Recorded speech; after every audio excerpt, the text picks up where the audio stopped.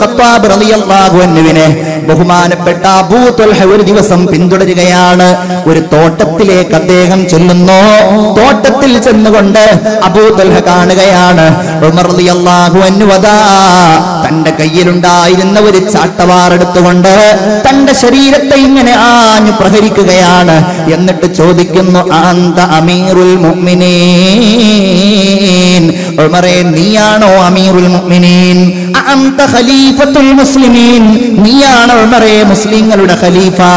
ഇന്നലെ രാത്രി തഹജ്ജുദ് നിസ്കരിക്കാതെ ഉറങ്ങിപ്പോയ നീയാണോ ഉമറേ ഇത് ആളായി നടക്കുന്നത്? എന്ന് ചോദിച്ചുകൊണ്ട് സ്വന്തം ശരീരത്തെ അടിക്കുന്നു. ഒരു നിസ്കാരം കളാക്കിയതിന്റെ പേരിൽ നിസ്കാരം പതിവാക്കുന്നവരാവുമ്പോ അതിൽ പ്രധാനപ്പെട്ട ഒന്നാണ് നബിയുടെ മേൽ നിർബന്ധമായ നമുക്കെല്ലാവർക്കും ഏറ്റവും വലിയ സന്തോഷവും സമാധാനവും നൽകുന്ന പ്രാർത്ഥനക്ക് അല്ലാഹു താല ഉത്തരം നൽകുന്ന ഏറ്റവും ശ്രേഷ്ഠമായ നിസ്കാരം റസൂലുള്ളാഹ്ക്കുണ്ടായിരുന്നു അപ്രകാരം ചില സുന്നത്ത് നിസ്കാരങ്ങളും ഉണ്ടായിരുന്നു.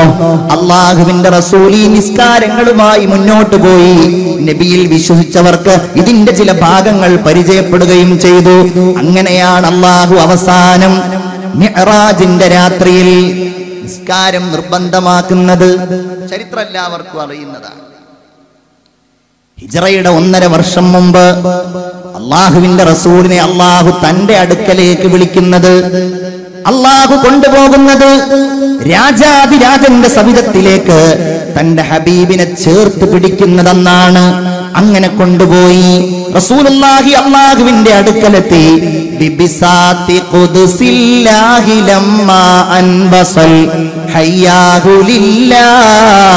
ലില്ലാഹി തഹിയാത്തുൽ ഫുളൽ ومباركات والصلاة كما نقل في السيرة الحلبي حكى تتميما صلوا عليه وسلموا تسليما അള്ളാഹുവിന്റെ റസൂൽ ചെന്നു അസ്സലാമു അലൈക്ക അള്ളാഹു താലായോട് അള്ളാഹുവിന്റെ റസൂൽ അഭിവാദ്യം ചെയ്തു.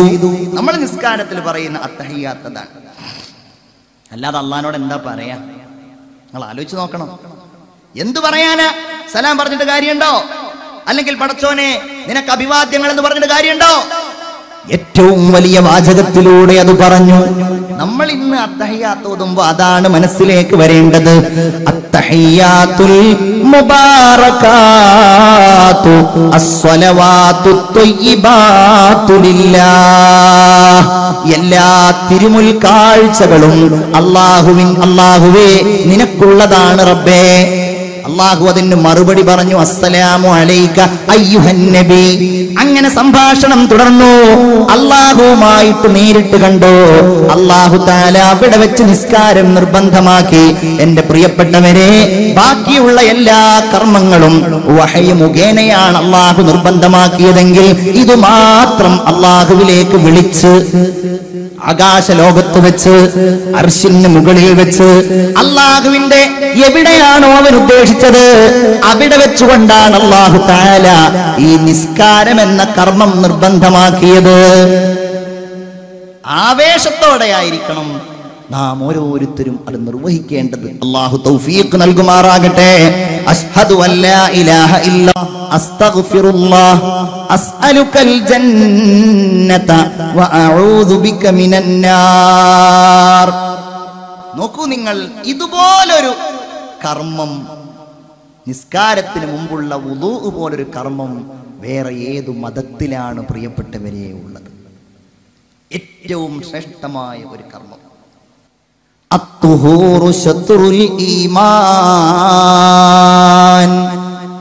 ഈമാനിന്റെ പകുതിയാണ് ഏറ്റവും പ്രധാനപ്പെട്ട ഒരു ഭാഗമാണ് ശുദ്ധി എന്നാണ് ഇസ്ലാം പഠിപ്പിക്കുന്നത്. ഇസ്ലാമിൽ വൃത്തിയുടെ വലിയ പാഠങ്ങളുണ്ട്. ഇസ്ലാം വൃത്തിക്ക് വലിയ പ്രാധാന്യം നൽകുന്നു. ശാരീരികമായ ബാഹ്യമായ വൃത്തിയും ആന്തരികമായ വൃത്തിയും. വൃത്തികേടിനെ ഒരിക്കലും ഇസ്ലാം ഇഷ്ടപ്പെടുന്നില്ലല്ലോ. അള്ളാഹു താല ഭക്ഷണം കഴിക്കാൻ പറഞ്ഞ കൂട്ടത്തിൽ പറ്റാത്തതുമുണ്ട് കഴിക്കാവുന്നതുമുണ്ട്. അള്ളാഹു താല ഉപയോഗിക്കാൻ പറഞ്ഞ കൂട്ടത്തിൽ പറ്റാവുന്നതുമുണ്ട് പറ്റാത്തതുമുണ്ട്. എന്തേ കാരണം? ഒന്ന് വൃത്തിയുള്ളതാണ് മറ്റൊന്ന് വൃത്തികേടാണ്. അറുത്ത മൃഗങ്ങളെ ഭക്ഷിക്കണമെന്ന് പഠിപ്പിക്കുമ്പോ ആ അറവിലൂടെ ആ മാംസത്തിന് ലഭ്യമാകുന്നത് വൃത്തിയാണ്. അതിന്റെ രക്തത്തിലൂടെ ഒഴുകിപ്പോകുന്നത് മനുഷ്യന്റെ ശരീരത്തിലുള്ള എല്ലാ മനുഷ്യന്റെ ശരീരത്തിന് ഹാനികരമാകുന്ന എല്ലാ വൃത്തികേടുകളുമാണ്. പന്നിയുടെ മാംസം ഭക്ഷിക്കരുത് എന്ന് പറയുമ്പോ ആ പന്നി വൃത്തികേടുള്ള മാംസ മാംസങ്ങളാണ്. ആ പന്നി കഴിക്കുന്നത് ഏറ്റവും വൃത്തികേടായ മാംസങ്ങളാണ്. ആ പന്നി കഴിക്കുന്നത് ഏറ്റവും വൃത്തികെട്ട ഏറ്റവും വൃത്തികെട്ട മനുഷ്യന്റെ കാഷ്ടമാണ്. വൃത്തികേട് എന്താണോ അതിനെ ഇസ്ലാം മാറ്റിവെക്കും ഈ അടുത്ത് ഇസ്ലാമിലേക്ക് കടന്നു വന്ന ഒരു സഹോദരൻ തന്റെ അനുഭവം പറഞ്ഞത് ഇങ്ങനെയായിരുന്നു. കടന്നു വരാനുള്ള കാരണം. കാരണം പന്നി എന്ന് പറയുന്നത് പല ആളുകളുടെയും ഭക്ഷണത്തിന്റെ ഒരു ഭാഗമാണ്. അള്ളാഹു താല കാത്തുരക്ഷിക്കുമാറാവട്ടെ നിങ്ങൾ ഉറക്കാമയും പറഞ്ഞോളൂ. അല്ലെങ്കിൽ ഞങ്ങളുടെ ആ ഭാഗത്തൊക്കെ വരുമ്പോൾ ചിലപ്പം പെടാൻ സാധ്യതയുണ്ട്. ഇറച്ചി കൊണ്ടു നോക്കും. റോസ്റ്റ് ആക്കിയിട്ട് കറിയാക്കിയിട്ട്. കഴിക്കാനും നല്ല ടേസ്റ്റ് ഉണ്ടാവും. കഴിച്ചു കഴിഞ്ഞിട്ട് അന്വേഷിക്കും. ഏതാ നല്ല രസമുണ്ടല്ലോ. അപ്പോഴായിരിക്കും പറയാ സാധനത്തിന്റെ പേര്. സുഭിക്ഷാണ് അവിടെ ഹോട്ടലുകളിലൊക്കെ പ്രത്യേകം ചില ചില സ്ഥലങ്ങളിലൊക്കെ പ്രത്യേകിച്ച് എറണാകുളം ജില്ല കോട്ടയം ജില്ല പത്തനംതിട്ട അങ്ങോട്ട് പോയാൽ അവിടെയൊക്കെ ഹോട്ടലുകളിൽ വിളമ്പപ്പെടുന്ന ഒരു വിഭവം കൂടിയാണ് അങ്ങനെയുള്ള മാംസം ഈ അടുത്തൊരാൾ ഇസ്ലാമിലേക്ക് കടന്നു വന്നിട്ട് അതിനെക്കുറിച്ച് പറഞ്ഞത് ആ മാംസം എന്തിനാണ് ഇസ്ലാം നിഷിദ്ധമാക്കിയത് എന്ന കാര്യം ഞാൻ പലപ്പോഴും ആലോചിക്കാറുണ്ടായിരുന്നു. എന്തിനാണ് ഇസ്ലാം അത് നിഷിദ്ധമാക്കിയത്? നിങ്ങളുടെ അടുക്കലേക്ക് ബക്കറ്റ് വരുന്നുണ്ട്. എല്ലാവരും നല്ല ആത്മാർത്ഥമായ സ്വതക്ക.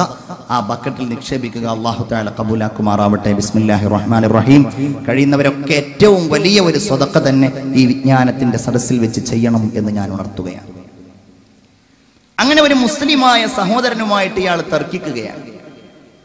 തർക്കിച്ച് തർക്കിച്ച് ഞാൻ പറഞ്ഞു ഇയാൾ പറയാണ് ഞാൻ പറഞ്ഞു എന്തിനാണ് ഇസ്ലാം പന്നിയെ ഒഴിവാക്കുന്നത്? ആ പന്നി വൃത്തികേടായ ഭാഗങ്ങളിൽ ജീവിക്കുന്ന മൃഗമാണ്. അല്ല ഇന്ന് അറുക്കപ്പെടുന്ന പന്നികളൊക്കെ ഏറ്റവും നല്ല ഭാഗങ്ങളിൽ താമസിക്കുന്നവരാണല്ലോ എന്ന് പറഞ്ഞിട്ട് ഒമാനിലെ പന്നി വളർത്തു കേന്ദ്രത്തിൽ കൊണ്ടുപോയത്ര ഈ മുസ്ലിമായ ചെറുപ്പക്കാരൻ മറ്റേയാളെ. പന്നി വളർത്തുന്നിടത്ത്. ഇയാളും അത്ഭുതപ്പെട്ടു. ശരിയാണ്. കാരണം ഒരു വൃത്തികേടുമില്ല നല്ല വൃത്തിയുള്ള പന്നികൾ ഒരു ദുർഗന്ധമില്ല ഒരു അനാവശ്യമായ അവസര വാസനയില്ല ഒരു കുഴപ്പമില്ല അങ്ങനെ ഇവരിങ്ങനെ നോക്കി നിൽക്കുന്നതിന്റെ ഇടയിലാണ് അഞ്ചാറ് പന്നികളുണ്ടല്ലോ ഒരു ഒരു ഫാമിലി അതിലെ ഒരു പന്നി ഇങ്ങനെ കാഷ്ടിക്കുന്നു. പെട്ടെന്നാണത്രേ തൊട്ടടുത്ത പന്നി ഈ കാഷ്ടത്തിന്റെ ഒരംശം പോലും ഭൂമിയിലേക്ക് വീഴാതെ മുഴുവൻ അതിങ്ങനെ നക്കി നക്കി നക്കി കഴിക്കുന്നത്. അപ്പൊ ഇയാൾ ചോദിച്ചു ഇപ്പൊ എങ്ങനെയുണ്ട് എത്ര വൃത്തികേട്ട എത്ര വൃത്തിയുള്ള സ്ഥലത്താണെങ്കിലും പന്നി കഴിക്കേണ്ടതേ അത് കഴിക്കുള്ളൂ.